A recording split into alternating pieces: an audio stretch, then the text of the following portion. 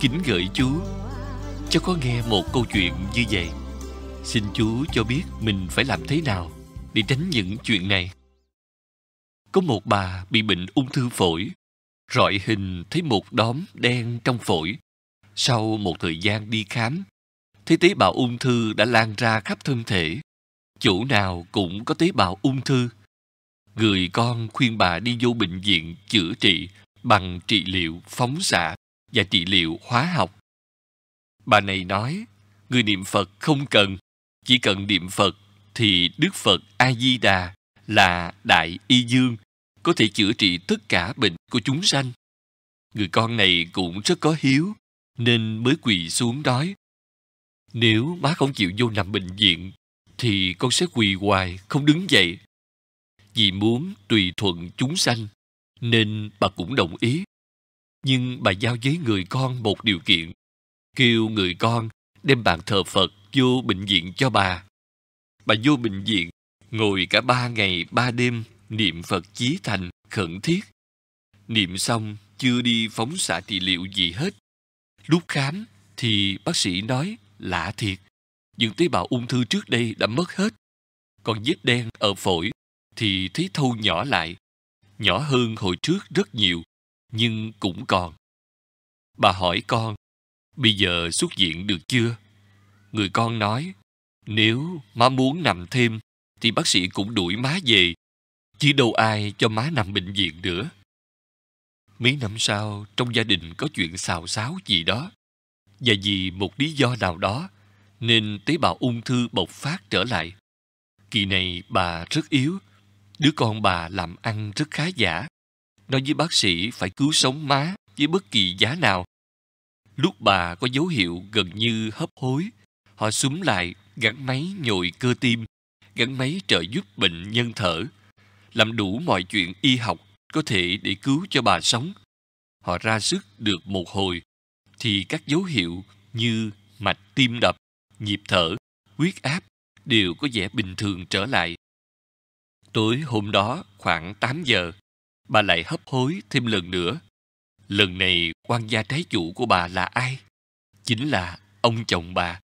Ông chồng nói với bác sĩ, bất luận làm thế nào cũng phải cứu cho bà sống tới 7 giờ sáng ngày hôm sau. Tại sao ông chồng không muốn cho bà ra đi ngay hôm đó, mà phải đợi tới hôm sau?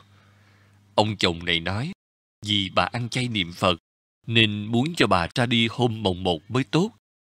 Sau khi ông chồng yêu cầu như vậy, các bác sĩ lại gắn máy để cứu cho bà sống lại thêm lần nữa. Nhưng gắn máy vô chẳng làm gì được khác hơn là hành hạ thân xác của bà. Tới lúc bà ra đi thật là tội nghiệp. Những bạn đồng tu của bà yêu cầu người nhà cho họ thăm viếng bà. Lúc bà mất, bà bị máu chảy ra từ mắt, mũi, tai, miệng. Thiệt là đáng tiếc. Và tại sao bà này niệm Phật cũng khá lắm, nhưng lại bị như vậy? Xin cảm ơn Chúa thật nhiều. Trả lời, Câu chuyện này thật là quá thương tâm. Mọi người nên đọc qua. Đây là một bài học thật đích đáng. Thông thường con người không tin Phật Pháp, hoặc là có tin mà hiểu không thấu đáo về Pháp Phật. Vô tình hay cố ý, họ dễ dàng tạo ra những cảnh thương tâm này. Sự thương tâm phải chỉ ở những điều thấy trước mắt, mà chính là người ra đi bị đọa lạc đau khổ. Câu chuyện kể trên đã phạm phải mấy vấn đề cấm kỵ khá nặng. Một, đụng chạm thân xác. Một người khi đã tắt hơi mà bị dằn dọc, đụng chạm, hành hạ đến thân xác là một đại tai họa cho họ. Trong pháp hộ niệm cho người lâm chung, chư tổ đưa cái lỗi lầm này lên hàng đầu. Nghĩa là cấm tuyệt đối mọi hành động đụng chạm vào thân thể của người vừa mới chết. Khi tắt hơi xong, phải để yên thân xác, không được đụng chạm vào, ít ra cho tới 8 giờ. Trong thời gian 8 giờ đồng hồ mà đụng chạm vào xác thân, người chết rất dễ bị đọa vào những cảnh giới tồi tệ nhất trong ba đường ác. Tại sao vậy?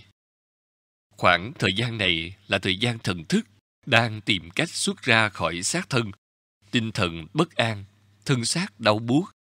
Nếu bị đụng chạm người chết sẽ bị đau đớn, không chịu nổi, dễ sanh tâm sân nộ, giận dữ. Ra đi trong cơn giận dữ, dễ chui vào địa ngục. Người thế gian thường nghĩ rằng một người đến lúc tắt hơi xong là hết, thân xác đó không còn cảm giác gì nữa.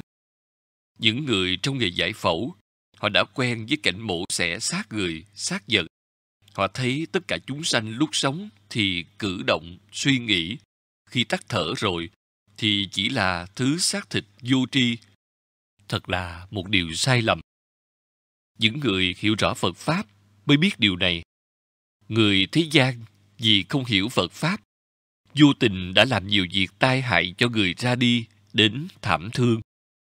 Câu chuyện này, những điều tai hại hầu như đã phạm hết. Đụng chạm vào thân xác người chết quá sớm, chẳng khác gì như một sự tra tấn người chết bằng cực hình. Trong Phật Pháp, Phật dạy dạng loài chúng sanh đều có linh tri. Linh tri này không bao giờ chết. Nói cho dễ hiểu hơn, ngoài cái xác thịt ra, còn có thần thức đang điều khiển cái xác thịt đó. Thần thức này không bao giờ chết. Nói rõ hơn, cái xác thân thì có sanh già, bệnh chết. Còn cái linh hồn thì không sanh, không tử, chỉ có mê và ngộ mà thôi. Mê thì rối bù, khổ nạn. Ngộ thì an vui, giải thoát. Xin nhắc lại, khi tắt hơi xong, vì mê muội tham chấp, thông thường thần thức vẫn cứ cố bám vào cái xác, không ra được. Thần thức chưa ra khỏi, thì giống như họ vẫn còn tiếp tục sống và vẫn còn có cảm giác nhiều giờ sau đó. Thời gian này, nếu bị đụng chạm vào sẽ gây đau đớn đến rợn người. Nếu sơ ý, cứ tiếp tục đụng chạm thì dễ làm cho họ nổi tâm sân nộ. Một cơn sân nộ nổi lên, thần thức nương theo lực đó mà xuất ra. Sân giận là nhân chủng của địa ngục.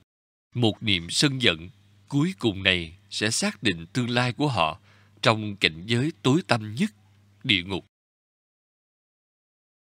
Chính vì vậy, xin đừng nên tắm rửa, lau mình, đừng nên thay áo, thay quần, đừng thoa son, đánh phấn, đừng nên ôm ấp, xoa nắng, đừng chích thuốc, ướp thân, đừng rút kim, đừng sửa thân, vân vân. Ít ra trong 8 tiếng đồng hồ, nếu để yên đến 12 giờ thì tốt hơn, an toàn hơn. Thời gian này rất cần niệm Phật hộ niệm. Nếu mọi người thành tâm hộ niệm, khai thị hướng dẫn, thì có thể giải quyết tất cả. Điều cấm kỵ khác là khóc than, kể lễ, âu sầu.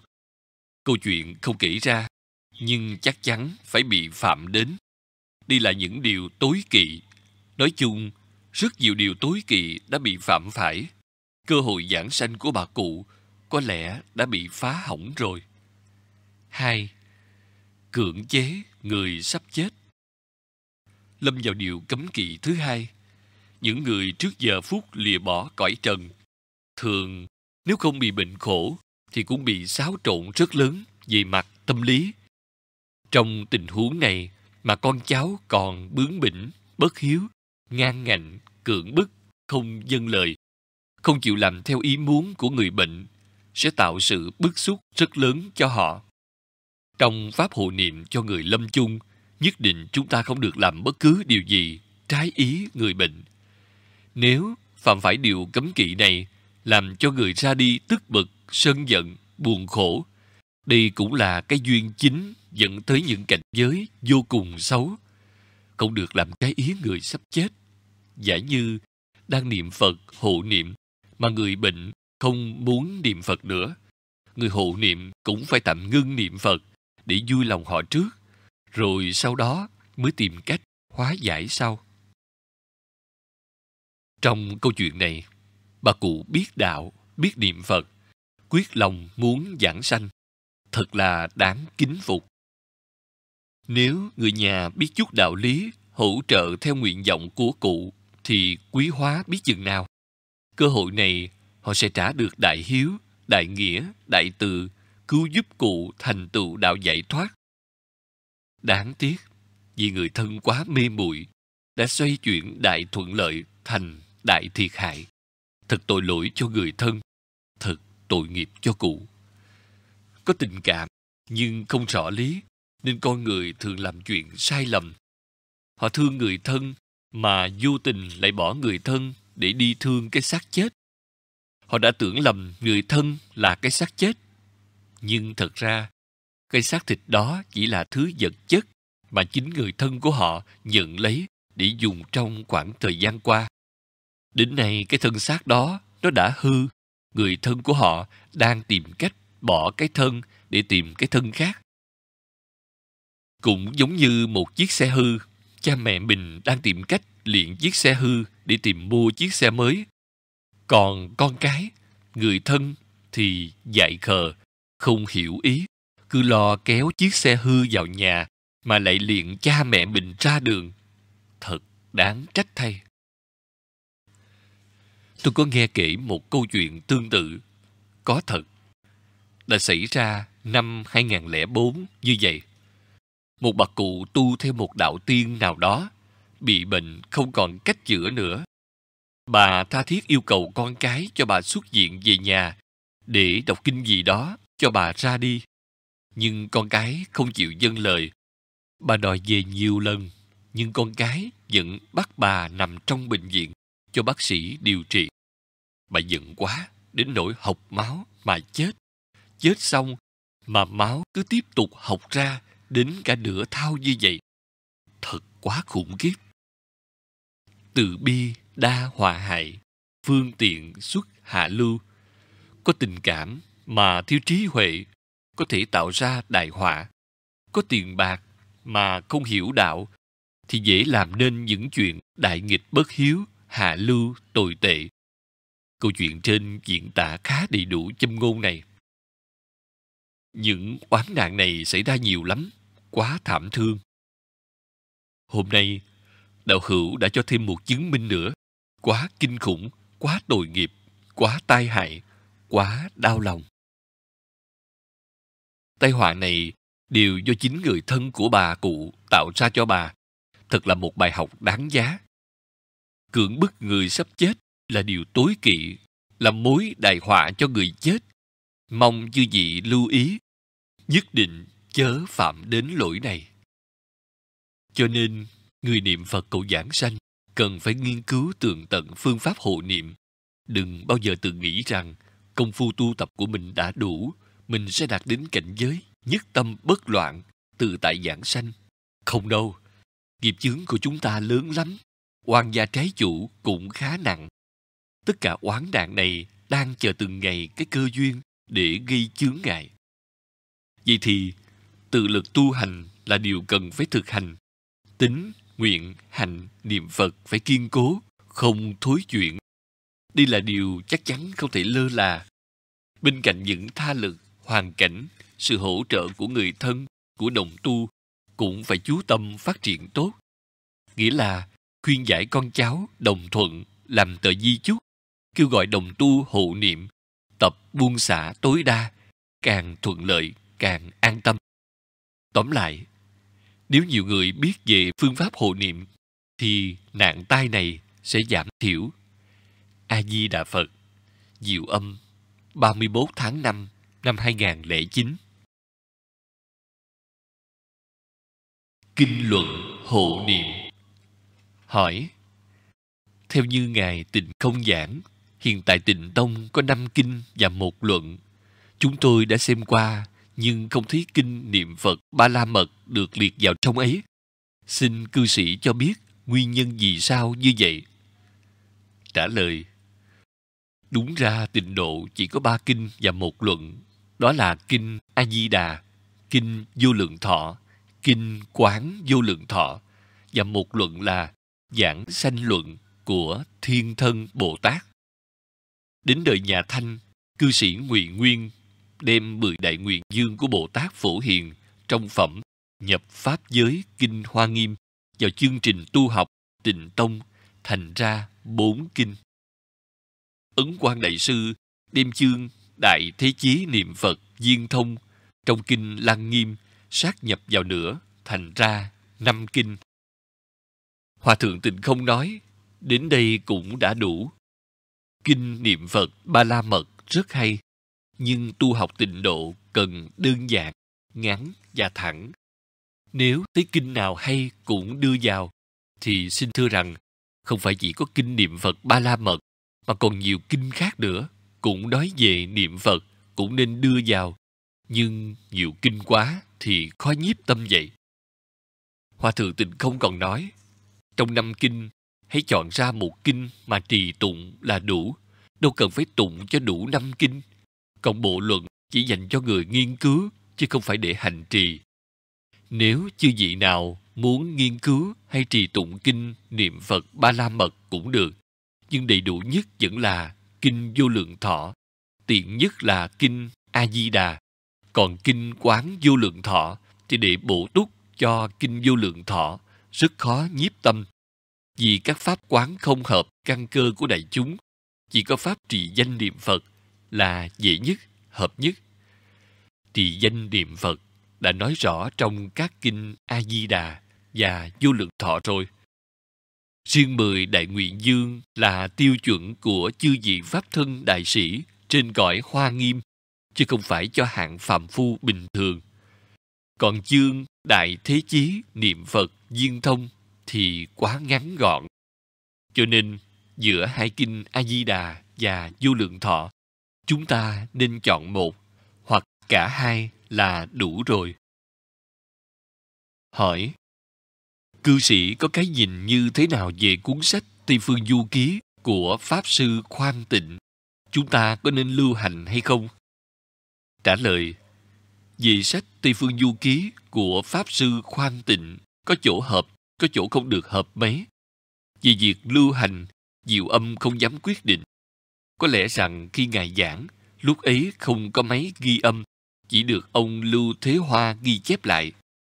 Ghi chép muốn được đầy đủ, chỉ có người đã học qua tốc ký, viết như chớp, nói đâu viết đó, mới có khả năng ghi hết đầy đủ bài giảng ký.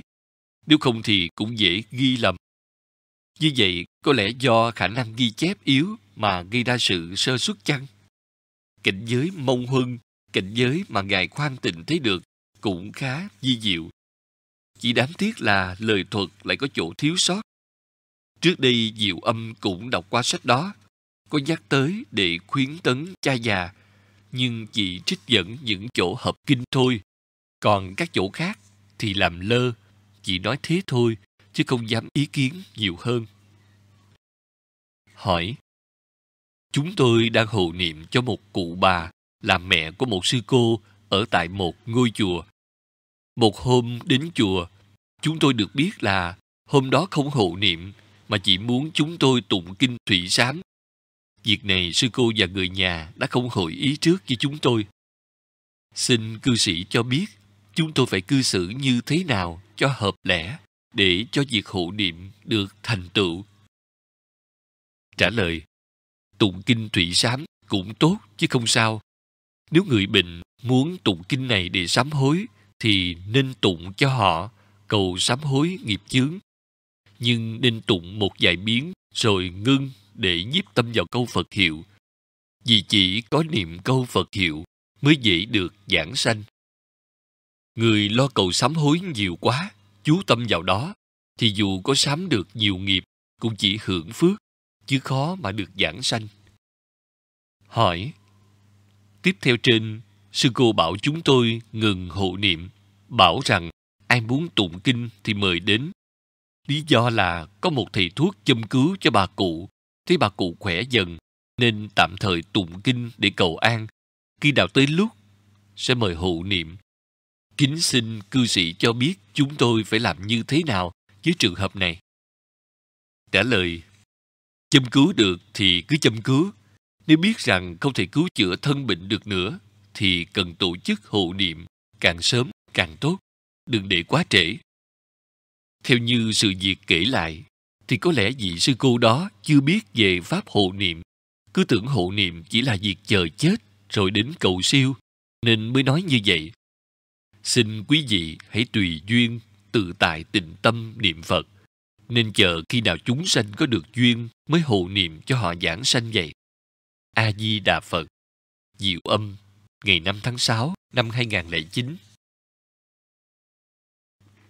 Hộ niệm cần gia đình hỗ trợ Hỏi, Kính thưa cư sĩ Diệu Âm, Lâu nay gia đình Kiều Thanh ít viết thư cho cư sĩ, nhưng vẫn chăm chỉ tu hành và rất vui mừng mỗi khi nhận được thư trả lời hộ niệm. Một điều rất mừng là chính nhờ những bức thư này mà KT đã khuyên được nhiều người thân quen. Có lúc không biết làm thế nào để khuyên, chỉ biết gửi những bức thư của Diệu Âm đi với hy vọng mọi người sẽ ngộ đạo. Vì mà kết quả thật là mừng đến bất ngờ. Thật là những bức thư vô giá. Bây giờ, mẹ Diệu Thiện đang giúp đỡ cho một chị Việt Nam bị ung thư ở Berlin. Chị đang ở giai đoạn cuối. Ngày nào mẹ cũng đến để cùng chị niệm Phật. Chị rất tỉnh táo, nhưng biết chắc chắn sẽ không còn trụ được bao lâu nữa. Trước đây, chị đã làm từ thiện rất nhiều, đã buông xả và quyết tâm niệm Phật, không hề sợ chết. Mẹ và chị Diệu Huệ hy vọng sẽ có một trường hợp giảng sanh ở Berlin để cho mọi người tin tưởng. Ở đây có chùa, có huân tu tịnh độ, có ban từ thiện, nhưng chỉ chú trọng cầu siêu, không quan tâm đến hộ niệm. Mẹ có hai băn khoăn như sau. Mẹ Diệu Thiện đưa ảnh Phật để chị treo trong phòng khách và phòng ngủ. Chị trả lại ảnh Phật trong phòng ngủ với lý do chị phải đi tiểu tiện ban đêm trong phòng ngủ chị phải thay quần áo cảm thấy không thanh tịnh nếu để trong phòng ngủ mẹ không biết nên giải thích thế nào. Gia đình chị không có ai tin phật pháp. Con cái sống riêng rất ít đến thăm. Người bạn trai cùng sống với chị cũng không tin. Nhưng mỗi khi mẹ đến niệm phật thì anh ấy không phản đối chỉ bỏ đi chỗ khác. Vậy nên khuyên bảo người nhà thế nào và có cách gì để phòng ngừa? Rất mong được nhận lời khuyên bảo của anh Diệu Âm. Nếu trường hợp này thành công, thì sẽ là tấm gương rất lớn cho người Việt Nam bên này. KT cũng đang chuẩn bị một đội ngũ các bạn đồng tu để khi cần sẽ đến hộ niệm ngay. A Di Đà Phật, Diệu Âm, Kiều Thanh. Trả lời một Điều thứ nhất Kiều Thanh đi khuyên người niệm Phật. Cô Diệu Thiện cũng đi khuyên người niệm Phật. Thật công đức này vô lượng. Nếu lợi dụng những lá thư của Diệu Âm để làm cớ khuyến tu thì tốt. Diệu Âm rất vui mừng. Chúng ta cùng nhau dùng mọi phương tiện và tâm ý để khuyến tấn. Còn được hay không, hãy để tùy theo duyên phận của chúng sanh. Tâm ý của cụ Diệu Thiện và gia đình muốn có một người giảng sanh ở Berlin thật là đáng quý. Chỉ cần một phát tâm này đã có một nhân đại thiện rồi. Thành tâm tán thán. Một người sắp chết, hiểu được đạo, quyết lòng buông xả, vui vẻ niệm Phật, thì đây cũng là duyên phước rất lớn của người đó. Hãy cố gắng ủng hộ tinh thần, củng cố niềm tin, giúp vị đó tiếp tục niệm Phật, cầu sanh tịnh độ. Hãy khuyên chị ấy cầu nguyện giảng sanh tha thiết đừng thối tâm. Đã bị ung thư đang chờ từng ngày để chết thì sớm muộn gì cũng chết. Chết sống là chuyện thường. Người mê muội đạo pháp, cứ lấy cái thân vô thường làm chính. Nên trước những cảnh trạng này, buồn khổ, lo âu, thật là vô ích. Mà lại đại hại nữa. Chúng ta hiểu rõ đạo pháp rồi, thì ngày ra đi ta được phước phần giải thoát. Giải thoát cái thân thịt hư hại này để nhận thân kim cang bất hoại. Bỏ cái thế giới khổ đau này về sống trong thế giới cực lạc, sung sướng chị đó đã quyết lòng xả bỏ thế gian. Nay diệu âm xin động viên thêm, động viên tích cực, khuyên chị đó càng xả bỏ tiếp, xả bỏ rốt ráo. Tất cả đều là huyễn mộng quyết lau vét cho sạch những gì của thế trần này còn sót lại trong tâm. Vững vàng, an nhiên niệm a di đà phật để về với phật.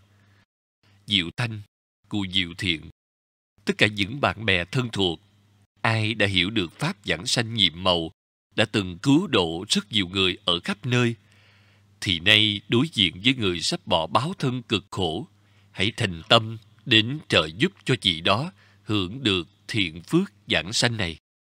Xin mọi người hãy tiếp tục khuyến khích chị đó mạnh mẽ, xả bỏ tất cả, vui vẻ về với Đức A-di-đà Phật. Cầu Ngài tiếp dẫn càng sớm càng vui. Đây là tâm nguyện tha thiết giảng sanh. Điều kiện đầu tiên rất quan trọng để được giảng sanh vậy. Quyết định của chị đó là chính. Tự chị phải có trách nhiệm cứu chị thoát nạn. Hãy thấy rằng, người trong gia đình không tin tưởng, đây là một chướng ngại phải lấy điều này làm lời nhắc nhở cho chính mình, giữ niềm tin kiên cố hơn, ý chí giảng sanh tha thiết hơn, niệm phật tinh tấn hơn nhất định phải niệm a di đà phật đến hơi thở cuối cùng. Cầu xin ngài tiếp độ, tự nhắc nhở, đừng để những lời bàn ra tán vào, làm lung lay chí nguyện giảng sanh. Phải vững lòng để tự vượt qua ách nạn này vậy. Cần những người biết hộ niệm đến trợ giúp. Quyết không dịnh vào bất cứ một ai. Quyết tin một câu phật hiệu, cứu độ giảng sanh. Làm đúng pháp, được giảng sanh, được thành tựu nếu làm sai pháp thì nhất định không có một ai cứu chị được. Hai, điều thứ hai, vấn đề treo hình phật trong phòng ngủ. Nếu chị thấy không tiện thì không nên treo. Treo phòng khách chỉ để gieo duyên cho khách giảng lai. Hãy treo nơi thờ phụng trang nghiêm mới tốt. Thường bàn thờ phật nên đặt chỗ trang nghiêm sáng sủa, có thể lấy nguyên phòng khách là chỗ lớn nhất, rộng rãi, sáng sủa và hướng ra ngoài để làm phòng thờ thì rất tốt. Phòng ngủ của vợ chồng không nên treo hình phật. Ba, điều thứ ba, gia đình chị không có ai tin phật pháp. Đây là điều khá trở ngại cho chị đó. Trong pháp hộ niệm, rất cần sự hỗ trợ của gia đình. Nếu gia đình không hỗ trợ, thì hộ niệm rất có thành tựu. Tệ hơn nữa, nếu có sự chống đối từ người trong nhà thì thật là tội nghiệp cho chị. Cầu mong gia đình mau mau ngộ ra đạo pháp di diệu, quyết lòng tin tưởng pháp niệm phật, sắp sẵn mọi tiện nghi, cầu người tới hộ niệm, nhất định cứu độ được người thân yêu. Thương người thân, thấy người thân sắp chết mà đành bó tay, mờ mờ mịt mịt, không biết cách nào để giúp nhau.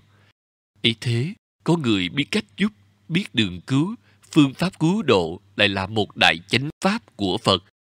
Thì tại sao gia đình không nương nhờ vào đó mà cứu người thân?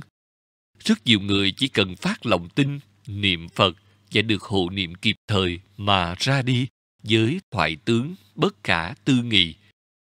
Xưa nay chưa từng thấy qua, đại lợi này có gì so sánh bằng? Giúp nhau được vậy mới chính là thương yêu thật sự. Xin đừng yếu mềm đem cái cảm tình thường tục ra mà khóc lóc, ôm ấp, đụng chạm vào người vừa mới ra đi. Đây là những điều tối kỵ, chắc chắn có hại cho người chết. Rất đau đớn cho họ, tội nghiệp cho họ. Dù bây giờ chưa hiểu được sự thật này, nhưng xin quý vị hãy cẩn thận, đừng vô tình mà đọa đầy người thân yêu trong cảnh khổ đau dạng kiếp. Thật tội nghiệp lắm đó. Chúng ta nên nhớ nhiều khi đêm ngủ nằm ác mộng, giật mình tỉnh giấc mà ta còn sợ đến toát mồ hôi. Nếu ngay lúc đó có người nằm bên cạnh, chỉ cần cầm tay họ cũng giúp cho ta tạm an lòng. Một người trước những giây phút xả bỏ báo thân, họ đối diện thường trực với những cảnh hải hùng ghê sợ.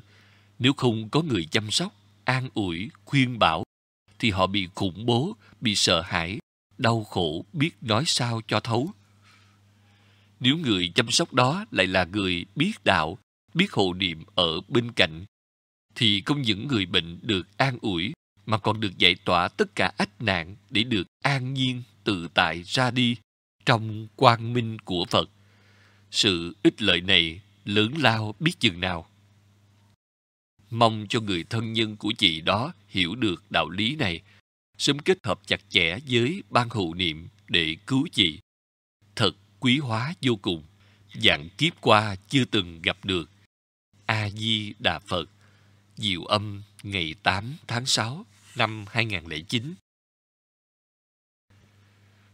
Buông xả niệm Phật để giảng sanh. Hỏi, Đi hộ niệm cho một cô Phật tử. Cô Phật tử này thường hay cúng dường đồ tứ sự cho chư Tăng. Việc làm này rất lâu năm rồi. Do phải đi bộ nên khi đến nơi thì cô Phật tử này đã tắt thở khoảng một tiếng đồng hồ. Vị này lấy tay sờ vào thân thể của cô Phật tử này thì thấy lòng bàn chân nóng. Vị này mới nói là Các con, Phật tử này đọa địa ngục rồi các con à. Bây giờ thầy trò mình niệm Phật để cứu cô Phật tử này. Thế là vị này cùng với năm vị khác niệm Phật liên tục được hai tiếng đồng hồ sau hai tiếng đồng hồ, vị này dùng hai bàn tay đặt vào hai lòng bàn chân của cô Phật tử này, giống như dùng nội lực của mình đẩy hơi nóng của lòng bàn chân lên trên. Kết quả là trên ngực nóng. Vị này nói, thì trò mình chỉ đủ khả năng cứu cô Phật tử này làm người trở lại thôi. Sau đó vị này và năm vị khác không niệm Phật nữa, ra về. Trả lời Kính thầy H.P. Diệu âm hơi phân dân rằng không biết câu chuyện này có đúng chính xác như đã kể hay không. Nếu đúng như vậy thì có nhiều chỗ hơi lúng túng. Nói điều liên quan đến Phật Pháp, Diệu âm học sao nói vậy, chứ không dám quanh co, cũng không dám nói trái lệch với những gì đã học được. Thành ra, nếu có điều gì không vừa lòng, xin thầy tha thứ Trước khi đi vào câu hỏi chính phía sau, Diệu âm sẽ dựa theo pháp hộ niệm giảng sanh, xin nêu ra đây những điều lúng túng đã xảy ra chung quanh câu chuyện. Thứ nhất, chính cô Phật tử này không tu tịnh nghiệp, không biết niệm Phật, không biết đường giảng sanh. Cô ta chỉ là người tu phước thì khó lòng được giảng sanh tịnh độ. Thứ hai, cô Phật tử đã tắt thở cả tiếng đồng hồ rồi mới có người tới hộ niệm. Như vậy thì quá trễ. Hộ niệm cần phải thực hiện trước khi lâm chung. Ngay thời điểm lâm chung và suốt thời gian sau khi tắt thở, ít ra 8 giờ đồng hồ niệm Phật không gián đoạn. Câu chuyện hộ niệm này không thực hiện được những điều này. Thứ ba, thân nhân trong gia đình hình như không có ý niệm gì về hộ niệm. Vì nếu có người trong nhà biết pháp hộ niệm thì chắc đã nhắc nhở đến rồi. Ở đây hình như chỉ để người chết như vậy một cách im lìm, buộc hiu, không có một tiếng niệm Phật bên cạnh. Thứ tư, người tới hộ niệm, nhưng xin thưa thật, cách hộ niệm có nhiều điểm khác lạ. Nếu lý pháp hộ niệm của tịnh độ tông, thì cách hộ niệm ở đây đã phạm đến nhiều điều cấm kỵ như mới chết một giờ đã đụng chạm vào thân xác để thăm dò. Niệm Phật mới được hai tiếng đồng hồ, lại đụng chạm vào thân xác nữa để thăm dò tiếp. Hộ niệm và dùng chưởng lực hay nội công gì đó của mình để đẩy thần thức lên. Cách này Diệu Âm không biết. Hộ niệm mới được ba giờ sau khi chết, để dội vàng bỏ ra về. Nếu nói đến các cách hộ niệm khác, thì Diệu Âm không biết chứ còn dựa theo pháp hộ niệm giảng sanh của tịnh tông mà xét thì sự hộ niệm kể ra trong câu chuyện này không được hoàn chỉnh đầu không hoàn chỉnh, giữa không hoàn chỉnh, cuối cũng không hoàn chỉnh luôn đầu không hoàn chỉnh, rõ ràng, khoảng thời gian trước khi xả bỏ báo thân, chung quanh người chết không có một dấu hiệu gì liên quan đến việc trợ niệm giảng sanh, không có người niệm phật cho cô cô phật tử chỉ chuyên cúng dường tứ sự cho chư tăng. Có nghĩa là cô đó chỉ tu phước, không chú tâm niệm Phật, không tha thiết nguyện giảng sanh. Nói chung, tính, nguyện, hành đều thiếu, không biết đường về Tây Phương, cực lạc, không tu tịnh nghiệp, thì chắc rằng khó mà biết đến Pháp hộ niệm giảng sanh. Thật ra, hộ niệm cần phải chuẩn bị trước, càng sớm càng tốt. Trong lúc đang khỏe mạnh, đang tu hành, tu hành thì phải lo tìm hiểu, học tập và biết cách hộ niệm rồi. Đến lúc lâm chung là giai đoạn cao điểm. Và khi tắt hơi cho đến tối thiểu 8 giờ sau là giai đoạn chót để hoàn thành việc hộ niệm. Chứ hộ niệm không phải đợi chết rồi mới tìm người tới tụng kinh niệm Phật đâu. Giữa không hoàn chỉnh, từ chỗ không tu tịnh nghiệp, không biết hộ niệm, nên thường cứ chờ chết rồi tính sao. Người sống mờ mờ mịt mịt không biết làm gì, người chết càng mờ mờ mịt mịt không biết đường nào để đi. Thật sự tương lai quá mịt mờ đen tối. Ngược lại, chính vì không biết nên người thế gian thường có những hành động sai lầm. Nói rõ hơn, có thể những điều cấm kỵ đã bị phạm phải rất nhiều trong suốt những ngày cô ta sắp rời bỏ báo thân. Cụ thể như tâm tham chấp thế gian không xả, trước cảnh bệnh nặng sắp chết, chắc chắn sợ chết, lo âu, bất an, hải kinh, không biết đường giải thoát tam giới, nên giới giới trong nghiệp báo, bị nghiệp báo hiện hành, nghiệp khổ báo hại. Lúc đau bệnh không ai khai thị, hướng dẫn, nhắc nhở việc niệm Phật giảng sanh, tâm hồn mê muội dễ bị dướng phải cạm bẫy của oan gia trái chủ. Lúc sắp chết bị sự buồn thảm, than thở, u sầu, làm cho tâm rối như tơ giò. Lúc lâm chung bị người thân khóc lóc, kêu gào thảm thiết, khiến tâm rối loạn, càng thêm rối loạn. Lúc tắt hơi bị người nhà ôm ấp, níu kéo, da chạm, làm cho đau đớn đến hồn kinh phách lạc. Nhiều gia đình còn phạm thêm các điều kiện khác nữa như người bệnh vừa mới tắt hơi thì đem xác đi tắm rửa, thay áo quần, rồi giả mời bác sĩ đến chích thuốc chống rã, chống hư thối. Kinh cãi với nhau, bất động ý kiến, gây náo loạn bên người chết, tẩn liệm quá sớm, do coi ngày coi giờ. Những điều đại cấm kỵ này mà bị phạm phải thì thật là tội nghiệp cho dông nhân. Đây chính là những duyên xấu do hoàn cảnh và người thân đem đến, khiến cho thần thức người chết bị đọa xuống cảnh giới đen tối. Người biết rõ phương pháp hộ niệm có thể ngăn ngừa được tất cả những ách nạn này. Cuối không hoàn chỉnh chính là sự hộ niệm có nhiều điểm sơ xuất. Mới một tiếng đồng hồ đã thăm dò hơi ấm. Hơi ấm trong khoảng thời gian này không thể chính xác được. Hộ niệm thiếu thành khẩn, thiếu lòng ngưỡng cầu Phật gia trì. Cụ thể như không cầu Phật lực của Đức A-di-đà tiếp dẫn, mà lại dùng nội công của mình để đẩy. Đây là tự mình thay thế Phật để tiếp độ. Pháp hộ niệm này khá lạ lùng, khởi tâm hiếu kỳ trong khi hộ niệm. Vì vừa hộ niệm vừa thăm dò hơi ấm, niệm Phật quá ít, quá ngắn, đã bỏ ra về, chưa đủ an toàn.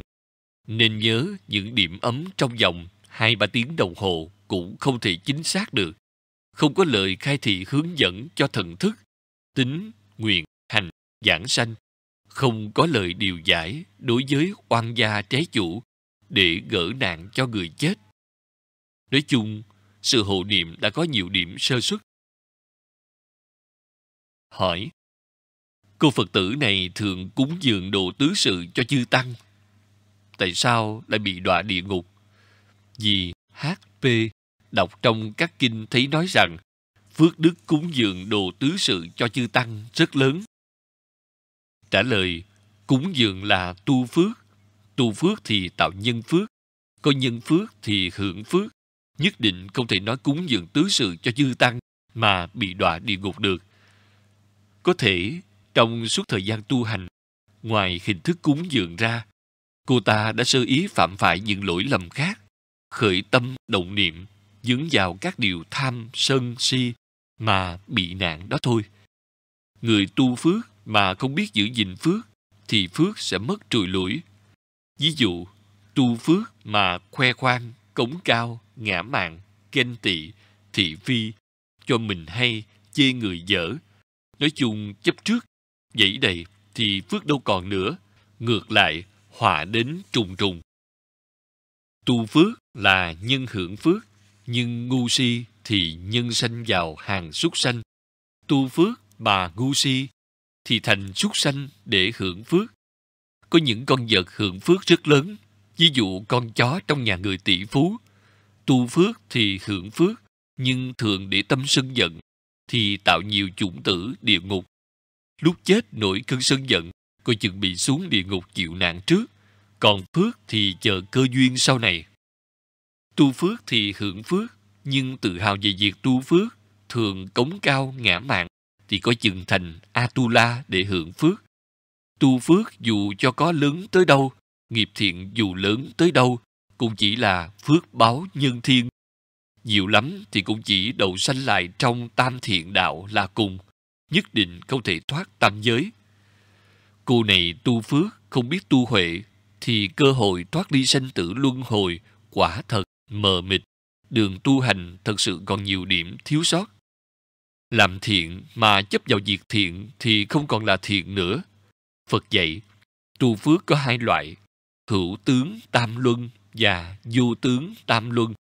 Tam luân là người bố thí, người nhận bố thí và vật bố thí. Hữu tướng tam luân là bố thí cúng dường mà còn biết rằng mình bố thí cúng dường, còn biết người được bố thí cúng dường, còn nhớ món tiền mình bố thí cúng dường, thì sự cúng dường này không có công đức. Hữu tướng tam luân không thể liệu thoát sanh tử. Dù tướng tam luân hay tam luân thị công là bố thí cúng dường, nhưng phải biết quên nó đi, đừng để nó dướng trong tâm, thì việc thiện này mới có công đức. Công đức này sẽ trợ giúp tích cực cho việc tiến tu đạo nghiệp. Người niệm Phật tu bố thí cúng dường, nhưng đừng chấp tại đó. Hàng ngày cứ đem tất cả phước lành gì tu được, hồi hướng cho tất cả chúng sanh, hồi hướng về Tây Phương cầu giảng sanh, thì phước lành này biến thành tư lương để giảng sanh thành đạo. Phước và Huệ đều tu mới viên mãn đường đạo. Phước là sự, Huệ là lý. Sự là bố thí, cúng dường làm thiện. Lý là tâm nguyện giải thoát.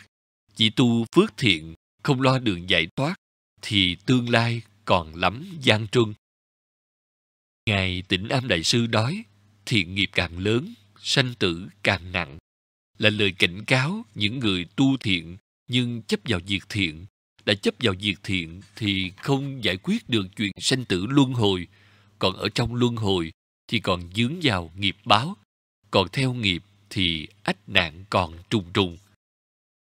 Kinh Hoa Nghiêm có nói, quên phát bồ đề tâm mà làm việc thiện thì toàn là nghiệp của ma. Người không có tâm thoát ly sanh tử, không có tâm giảng sanh thành đạo, mà cứ chuyên lo làm việc thiện, thì việc thiện này trở thành nghiệp ma. Vì sao vậy? Vì không ra khỏi tam giới. Không ra khỏi tam giới thì vẫn còn trong dòng kiểm soát của ma dương, ma oán, ma sự, ma chướng, nghiệp chướng, oan gia trái chủ chướng, báo chướng. Những thứ chướng ngại này nhất định phải đối đầu, không trước thì sao? Cho nên, người hướng dẫn cho đại chúng tu hành phải hướng dẫn đường tu cho chánh, cho thẳng, cho liệu pháp, chứ không nên sơ ý dẫn dắt nửa vời, mông lung, bất liệu giáo, làm cho chúng sanh lạc đường. Tội nghiệp này khá lớn. Điển hình, tại sao cô Phật tử này tu hành lâu năm mà còn bị nhiều sơ suất vậy? Ta thử nêu ra một số trường hợp thường tình. Trong đó, có thể cô ta đã dướng phải chăng? Một là ý niệm rằng tu hành chỉ là việc làm lành, lánh dữ là đủ. Hai là suốt đời chưa có dịp nghe được ai giảng đạo lý thoát ly sanh tử luân hồi, đạo lý niệm Phật giảng sanh cực lạc, nên không biết đường tu chính xác. Ba là có thể có nghe Pháp nhưng không hợp căn cơ, nghĩa là hoặc là cao quá, nghe toàn là những đạo lý huyền diệu cao siêu, những pháp di diệu của hàng thượng căn cao vút trên mây xanh. Lý hay nhưng làm không được. Lại sinh ra vọng tưởng hoặc là nghe không đúng chánh pháp, mập mờ đường tu giải thoát.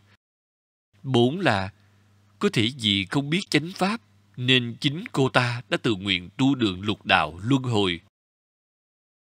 Năm là mỗi lần làm phước đều được tiếng khen. Thế vậy tưởng là đủ, là ngon, là đắt. Có ngờ đâu, bên cạnh nhân phước này đã có rất nhiều nhân họa xảy ra. Kinh Địa Tạng Bồ Tát Bổ Nguyện có nói, ở cõi Nam Diêm Phù Đề này, chúng sanh khởi tâm động niệm, không có gì là không nghiệp. Như vậy, làm sao cô ta tránh khỏi tạo nghiệp chướng? Suốt đời tu phước, tâm cứ lẫn quẩn trong chuyện phước báo thế gian, thì ngàn đời dạng kiếp không có ngày thoát ly tam giới. Người không tu thì không biết đạo, người có tu hành thì gọi là có đạo. Có đạo nhưng chỉ biết cái đạo bất liệu giáo, cứ tu lẫn quẩn trong ngõ cụt, không biết đâu là đường thành đạo, thì rốt cuộc cũng uổng phí công phu tu hành. Xin hỏi rằng, trách nhiệm này quy cho ai đây? Hỏi, sư phụ của vị này đã dùng nội lực của mình để vận chưởng để hơi nóng từ lòng bàn chân lên trên ngực của người lâm chung. chỉ có đúng với luật nhân quả không? Trả lời, phương pháp hộ niệm này lạ quá. Trong pháp hộ niệm của chư tổ sư tịnh độ tông truyền lại, không có nói đến cách vận chưởng này. Hơn nữa, trong vòng ba tiếng đồng hồ sau khi tắt thở, chưa thể xác quyết đường tái sanh. Phương pháp vận câu này diệu âm không biết nên không dám bàn đến. Hỏi, nếu như những vị học tăng này niệm Phật tiếp tục khoảng một thời gian nữa, có thể cứu cô này được giảng sanh hay không? Trả lời, trong kinh nghiệm hộ niệm, khi gặp trường hợp bị trở ngại, người đi hiện tượng xấu hoặc không tốt lắm, nhiều ban hộ niệm đã phát tâm hộ niệm thêm thành khẩn khai thị, thành khẩn điều giải oan gia, gia đình thân nhân thành tâm lạy Phật cầu gia bị, thay cho người chết sám hối nghiệp chướng. Có nhiều trường hợp liền sau đó đã chuyển tướng từ xấu thành tốt đẹp vô cùng, thật bất khả tư nghị. Nhưng điểm chủ yếu vẫn là chính người đang bị nạn đó có chịu hồi đầu hay không. Người niệm Phật quyết lòng giảng sanh thành đạo thì hãy tập buông xả, mau mau buông xả thế trần xuống, đừng để quá trễ. Hòa thượng tịnh không dạy, nhìn thấu, buông xả, tự tại, tùy duyên, niệm Phật. A-di-đà Phật, Diệu âm kính thư, ngày 23 tháng 6 năm 2009.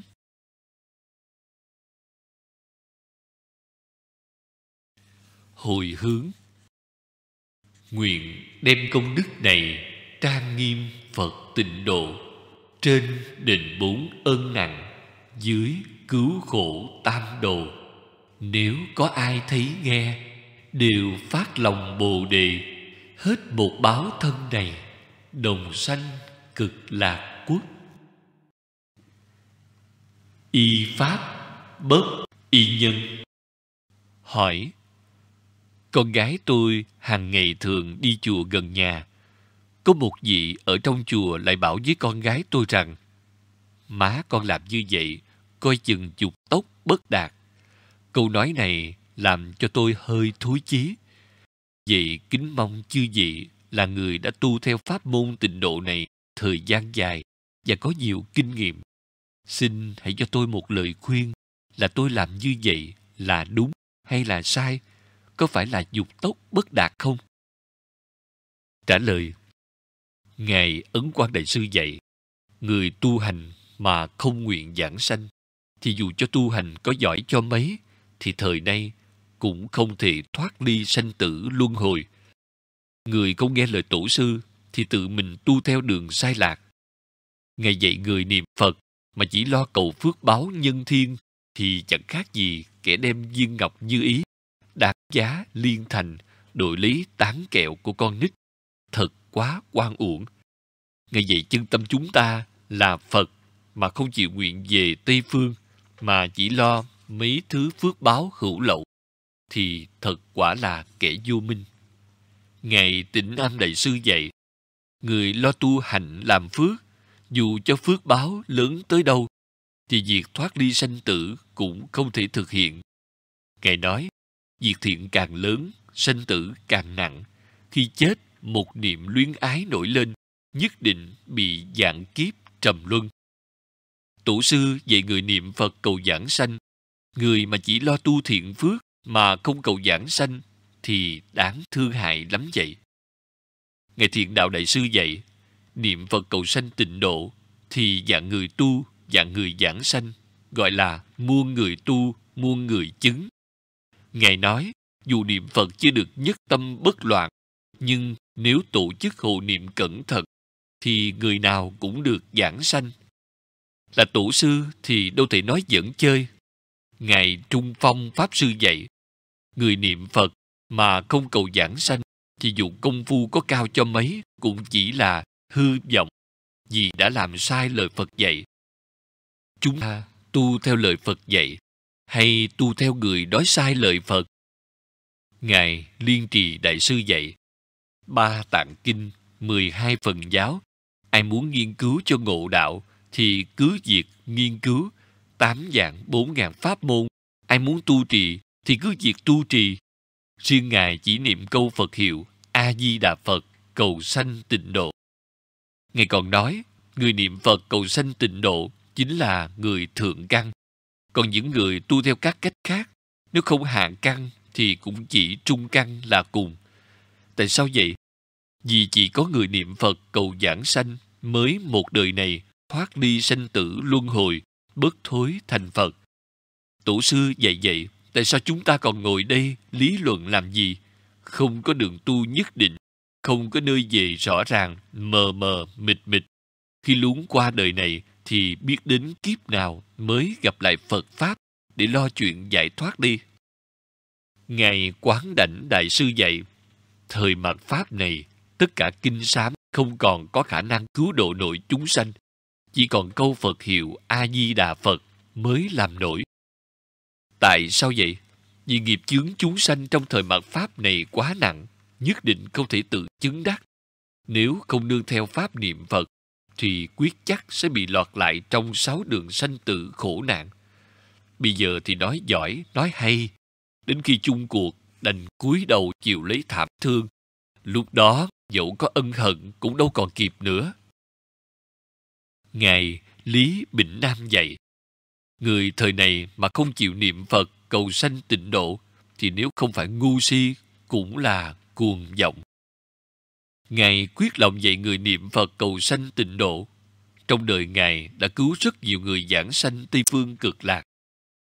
Hòa thượng tình không nói, thời này người nào không chịu niệm Phật cầu sanh tịnh độ, nếu không phải là kẻ ngu si, thì cũng là người cuồng vọng nhưng xét cho cùng, cuồng vọng cũng là ngu si.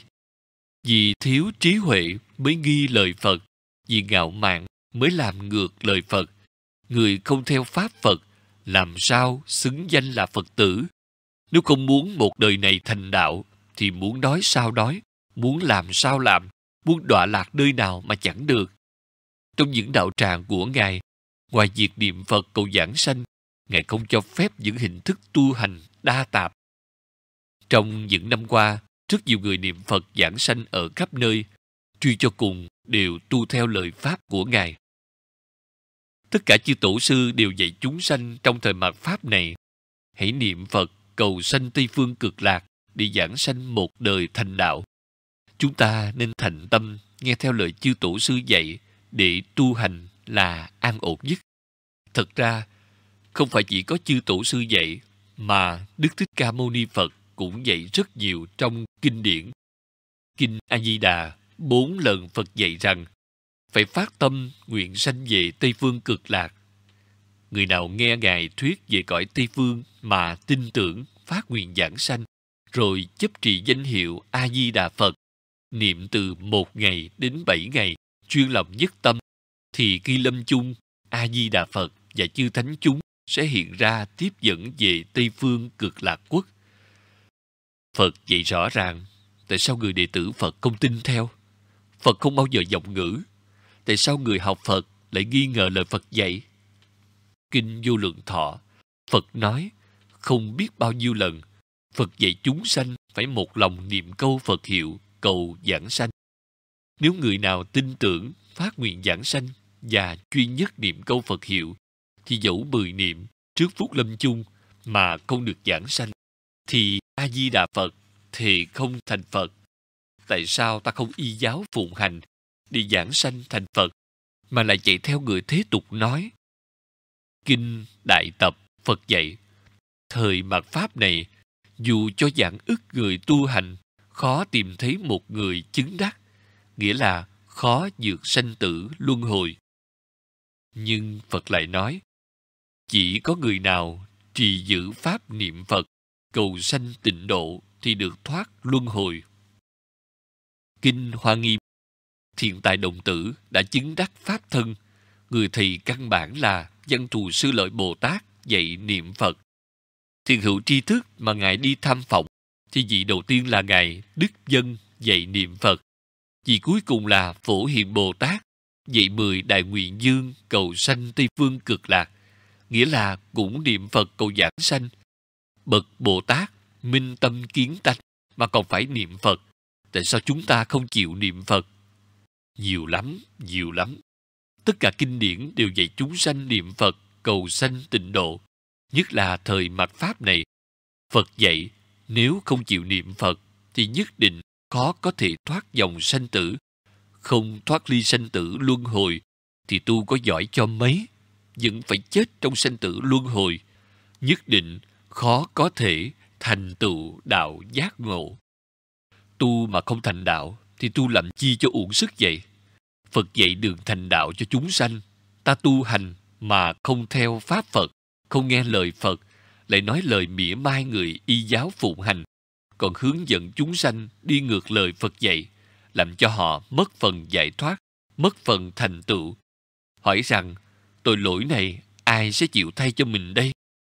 Cho nên, người học Phật mà dạy Phật tử tu hành không đúng theo kinh Phật thì rất có tội, tội lớn lắm. Phật dạy thời mạt Pháp tu hành phải y Pháp, bất y nhân. Nghĩa là phải y đúng theo Pháp Phật tu hành, không được theo bất cứ người nào cả. Nói rõ hơn, người nào nói đúng kinh Pháp thì nghe, người nào nói ngược kinh Pháp thì tuyệt đối không được nghe. Nếu ai nhẹ dạ nghe theo thì bị đọa lạc, ráng chịu. Lúc ta bị đọa lạc, nhất định không ai cứu nổi ta đâu. Như vậy, ta phải theo lời Phật để một đời này giảng sanh thành đạo. Chứ tại sao lại theo những người đói ngược lời Phật mà đành phải mất phần về Tây Phương, bị kẹt lại trong cảnh vô thường để chịu nạn dạng kiếp. Đạo Phật là đạo cứu chúng sanh thoát dòng sanh tử, giảng sanh thành Phật.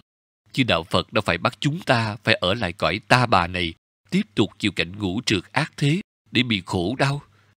Vì thì, người tu học Phật sẽ không lo chuyện thành đạo, lại cứ nấn ná ở lại chốn vô thường này mà để chịu thêm vô thường vậy?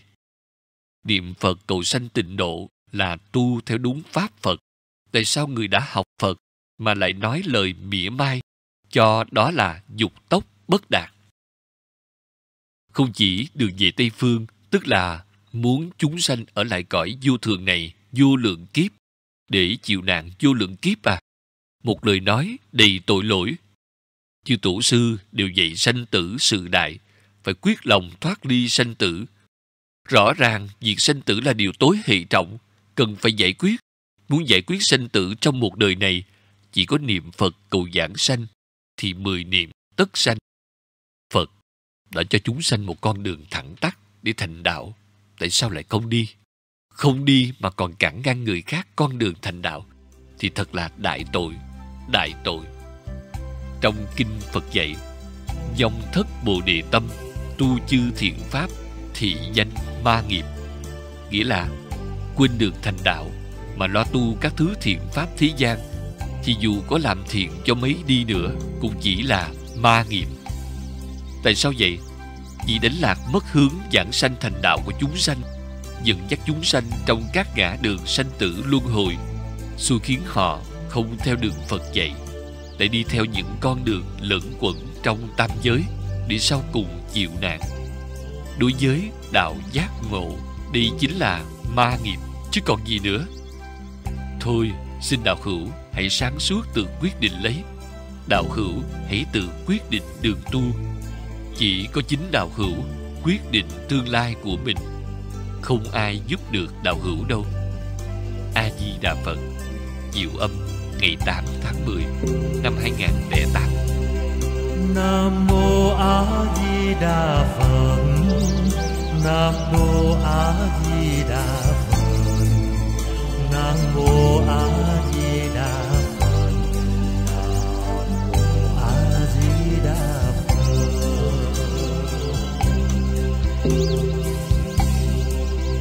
Nam mô A Di Đà Phật.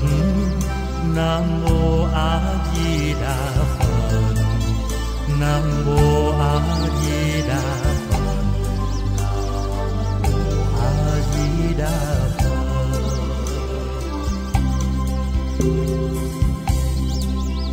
Nam mô a di đà phật.